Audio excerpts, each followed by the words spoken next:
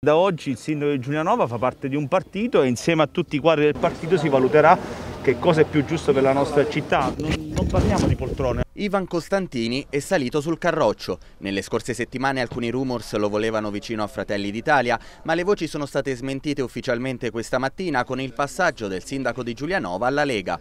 L'onorevole Luigi Deramo, che ha puntato l'Alberto da Giussano sul petto del primo cittadino, commenta soddisfatto.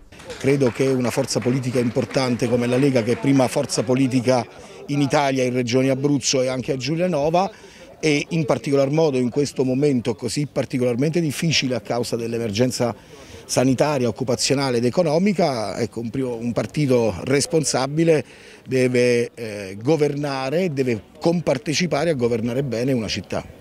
Costantini è stato membro di Forza Italia fino al 2019, anno in cui lasciò il partito di Berlusconi per candidarsi a sindaco con sei liste civiche. Vinse al ballottaggio dopo un lungo testa a testa proprio contro il candidato leghista, Pietro Tribuiani, in una campagna elettorale che si consumò negli attacchi reciproci tra il polo civico e i partiti tradizionali, primo fra tutti quello di Matteo Salvini.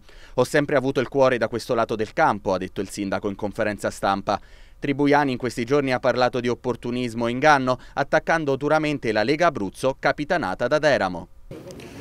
La Lega non espelle nessuno, eh, ripeto, ehm, la posizione della Lega eh, è quella in questo momento eh, molto chiara, esprimiamo il sindaco, siamo in maggioranza, chi non condivide eh, questa scelta può fare le scelte che ritiene più opportune. Tribuiani si è però detto disposto a sostenere Costantini se verranno accolte alcune richieste, prima tra tutte la liquidazione della società in house del comune, la Giulianova Patrimonio.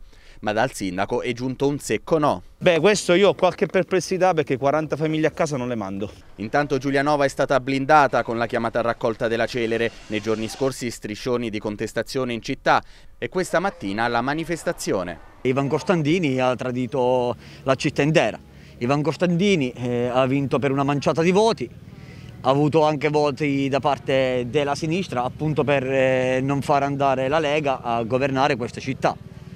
Si è rivelato alla fine un burattino, un falso, perché è così che lo possiamo chiamare. Lui ha fatto tutta una propaganda contro la Lega eh, nella sua campagna elettorale e alla fine niente, diciamo che è passato con il nemico.